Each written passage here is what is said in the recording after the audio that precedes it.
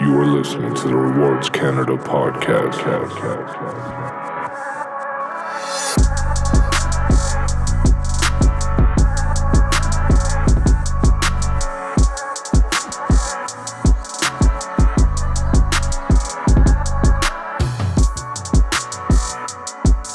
You, you, you are listening to the Rewards Canada Podcast.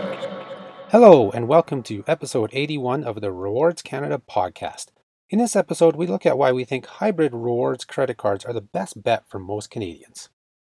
This episode of the Rewards Canada podcast is brought to you by the HSBC World Elite MasterCard.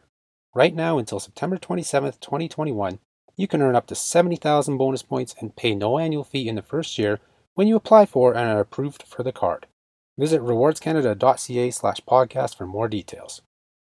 So whether you are a frequent flyer, a points and miles junkie, or neither, but want to have the most flexibility in your travel reward, rewards and even reward, rewards beyond that, there's one type of card that is the best for everyone. That type of card is the hybrid card. This is the moniker for these cards that Rewards Canada instituted many moons ago, but they're also known as flexible points cards and they give you the best of all worlds when it comes to being rewarded from your credit cards. So you may be asking the question, what are hybrid cards? Well, let me tell you. First, we like to use the term hybrid instead of flexible points, as some card issuers call their points flexible points, in that you can book any travel at any time. However, that's it. They're not. Uh, they don't have conversion options like some of the other flexible points cards in the market. Hence, the reason we like to use hybrid, as it avoids that confusion. Hybrid cards give you that book travel anytime, anywhere that you want, but they also have options to convert cards, uh, convert those points to other loyalty programs. I shouldn't say cards, it might be confusing you guys there. Um, they really have more redemption options, and they are the perfect card or cards for those who aren't 100% sure as to what they want to use their rewards for. Or in the terms of like kind of the points and miles junkies and frequent flyers, it's kind of a, a place to bank those points and miles until you know what you want to do with them. Um, so basically what a hybrid card is, is you have access to the card issuer's proprietary re- rewards program. So these are typically your book any airline, any time, anytime type rewards that we already mentioned, uh, hotels, car rentals, so on. Um, but then they also provide the option to convert those proprietary program points into other travel rewards programs from various frequent flyer and frequent guest programs that are out there. These are the critical reasons that make hybrid cards the best bet for all Canadians. You essentially have all your bases covered. You can get the flexibility of the proprietary reward program, that is, booking travel on your own terms, the dates you want, the places you want, how you want to travel, and so on, all for a known redemption rate. Whether it is a program that has a set award chart like RBC's Avion or a set amount of points redeemed per dollar spent, or both, which we see on a lot of cards, Proprietary credit card programs are flexible and easy to use because you typically have a known valuation of about 1 to 2% on the spending that you made on that card. Um, but those get boosted, uh, of course, with accelerated earn rates. But that's just kind of your known redemption rate. Um, so they're, they're really easy. Um, but then you have the option after that to, if you have those points in your account, to convert to airline and hotel programs.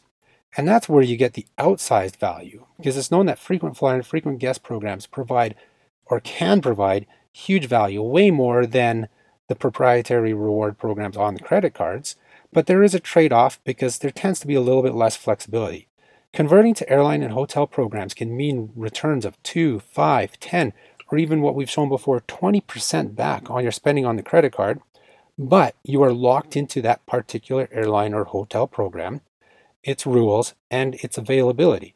You can only choose from that program's partners. You may not get the dates of travel you really want, and so on. So they are less flexible. So that's why we love these hybrid cards because you get both options. You know, the frequent flyer, frequent guest programs, they have your typical pain points that we've seen for, you know, pretty much 40 years in these traditional loyalty programs that we've all become accustomed to. But when you do get those flights in business or first class, or those hotel stays in an overwater villa, and are paying with points instead of doling out thousands of dollars in cash, it's worth it in the end. And that's why hybrid cards are a favorite of Rewards Canada. Why they are the best option for most Canadians, and why you should have at least one hybrid card in your wallet. I mean, why wouldn't you want the ability to have the option for all sorts of redemption avenues and not be stuck with just one? Yes, there are cases where some people won't need the frequent flyer or frequent guest redemptions, so maybe a hybrid card isn't on the top of the list. But here's the thing most of Canada's hybrid cards have amazing proprietary rewards, so they should be considered front runners, anyways. In fact, three of our top five credit cards overall in our travel rewards rankings are hybrid cards. So now that you know what a hybrid card is, let's take a look at the hybrid card offerings that are available here in Canada. There are literally only about a dozen hybrid cards in Canada. A good um, portion are from American Express, um, while the only hybrid Visa cards are issued by RBC, and the only hybrid MasterCard comes from HSBC. So you see, there's not a lot of options out there. There's also one other card that's available. It's a Diners, or not, I shouldn't say available, but out there. It's the Diners Club Club Rewards MasterCard. It's a hybrid card, but it's not available to the public, so we don't really touch upon that card much anymore. Uh, we do have it in our wallet here at Rewards Canada because we had that card probably for over 20 years now, pretty close to that, somewhere around there. Um, but unfortunately, it, BMO took it off the market many years ago. So first, let's look at the cards from American Express. All cards that earn membership rewards are hybrid cards. So this is like the Cobalt card, the Choice card, Gold Re- Rewards card, Green card, Platinum, and Centurion cards. They are some of the most flexible cards in the market due to the sheer size of redemption options that are given to the card members that hold on to these cards. Essentially, you have your um, flexible points program that we've discussed. So that's your travel anytime, anywhere. It's 1,000 points gets you $10 off towards any travel. You can book any travel with whomever you want and once the charge shows up on your account, you can redeem points against the charge. And that's even after you've traveled. You have months, you have 12 months afterwards to redeem points against that charge.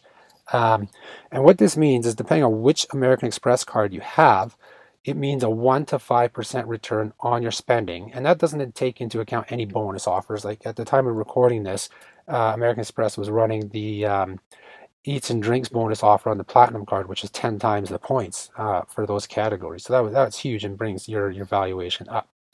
Um, so after the flexible points, American Express also has their fixed points for travel. So this is your traditional travel rewards chart option.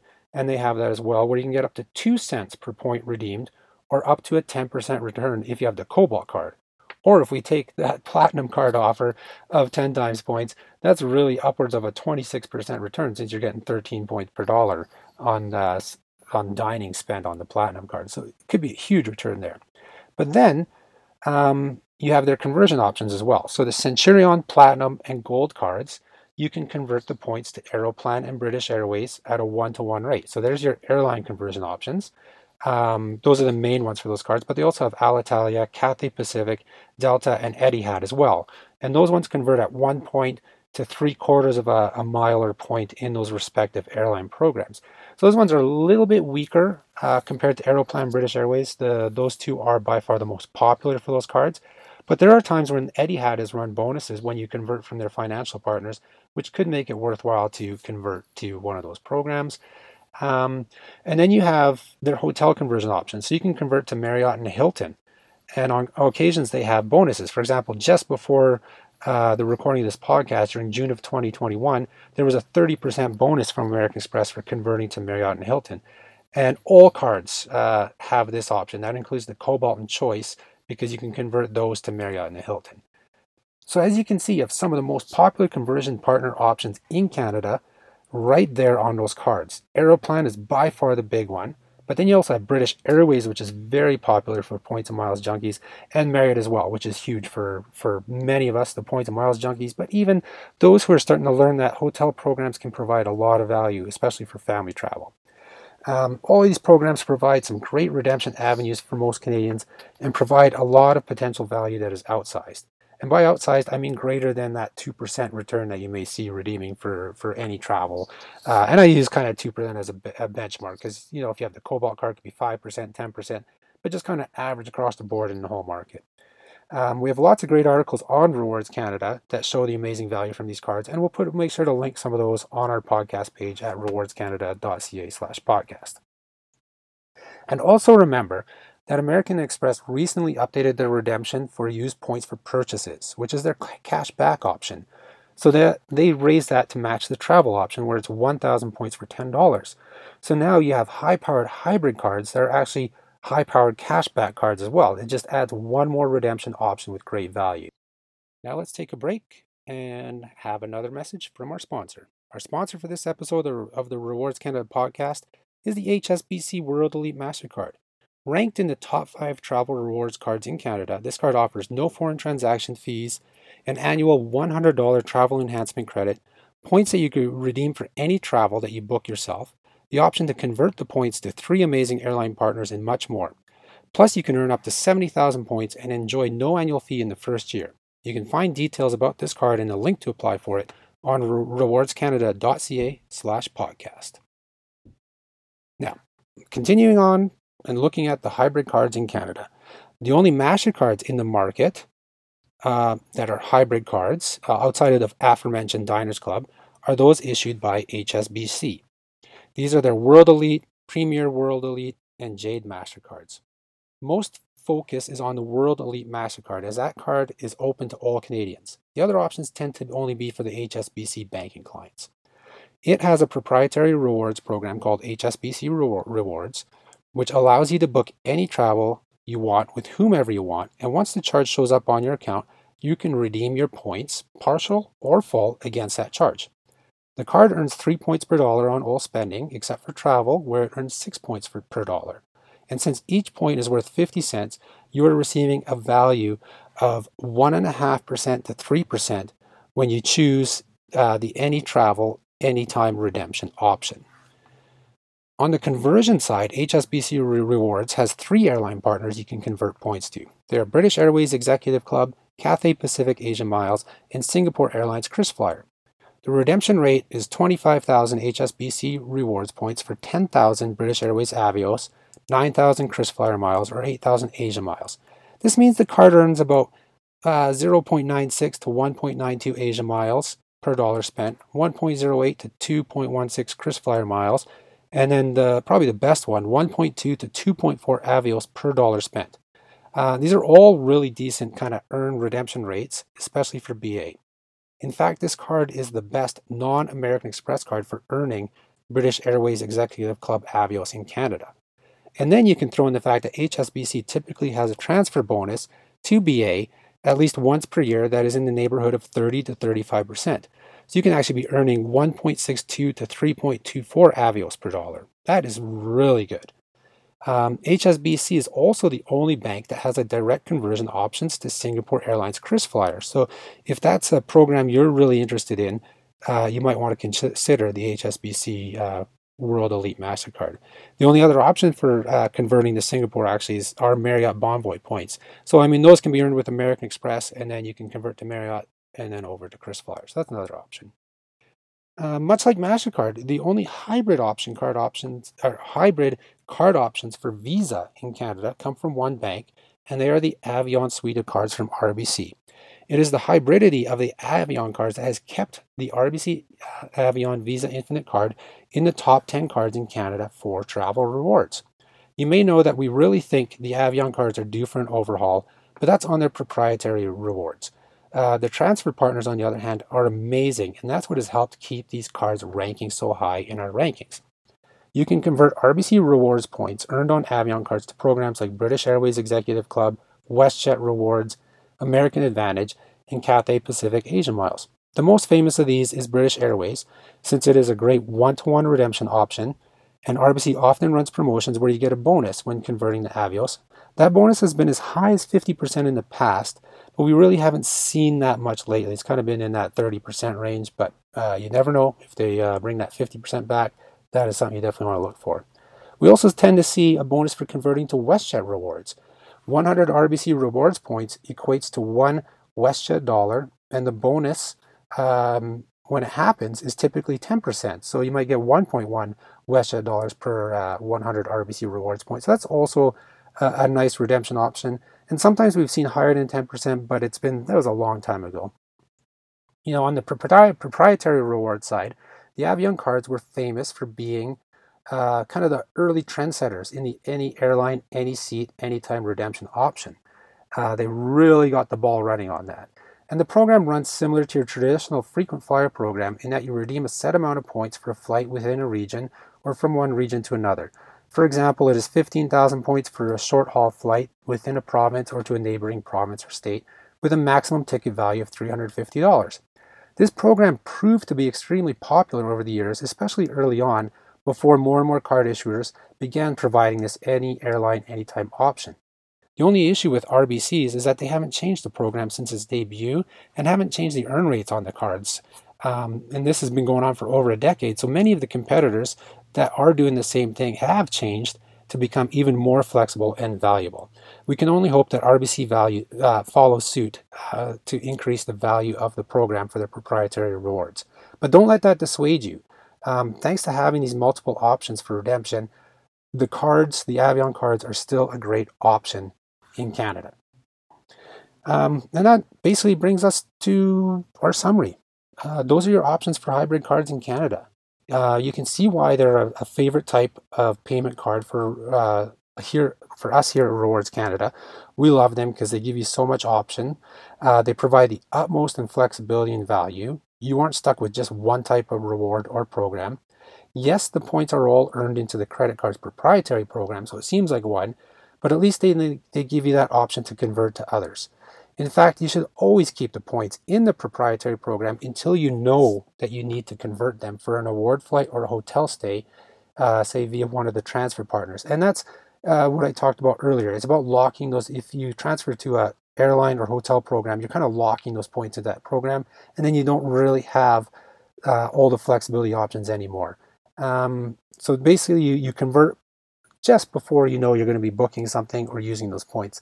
Uh, there's one kind of asterisk to that and change that is the only time you would convert points without a specific award in mind is when they are having those transfer bonuses. Again, you'll still want to be sure you'll know you'll use the points in the end. Um, don't transfer if you know you're not going to use them no matter what. Uh, for example, here at Rewards Canada, we converted our membership rewards points from the Cobalt card to Marriott during that latest 30% transfer bonus to take advantage of that bonus, and we don't have any planned stays in the future.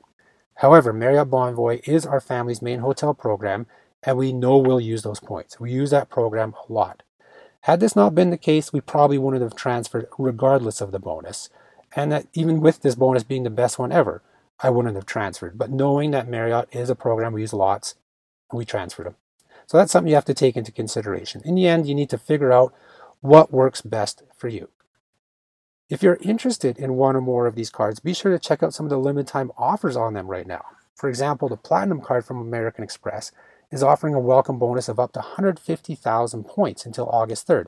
That's $1,500 in any time, anywhere travel, up to $3,000 in value for their fixed points travel program, and up to 150,000 Aeroplan uh, miles or British Airways Avios, or 180,000 Marriott Bonvoy points, all of which can easily provide value north of $5,000. The HSBC World Elite MasterCard itself has a 70,000 point bonus, and like we said, no annual fee in the first year. So that's worth up to $350 in travel, or $28,000, um, or sorry, $28,000, 28,000 Avios. And then your RBC suite of Avion cards, they're all having a 35,000 point bonus right now uh, for new applications until July 26th. That's seven, up to $750 in value for their Avion award chart if you redeem right at that maximum ticket level for travel in Canada or to the US. Or it's 35,000 British Airways Avios, or it's 350 WestJet dollars. Lots of options and a lot of great offers to be had right now for some of those best hybrid cards in Canada. And that's it that wraps it up for this episode of the Rewards Canada podcast. I hope we gave you a nice overview of what hybrid cards can do. Uh, honestly, we could go on forever about them since we love them so much. Almost all the cards in our wallets are hybrid cards. Uh, there's so much that can be discussed, but I just wanted to give you kind of a high level talk about it just to get your mind thinking about one of these cards if you don't have one in your wallet right now. So, thank you for tuning in. Be sure to smash that like button, provide star ratings, share, and subscribe via your favorite platforms. Thank you, and talk to you next time. The Rewards Canada podcast is produced in Calgary, Alberta, Canada, with music produced by Regina's own TWKOP.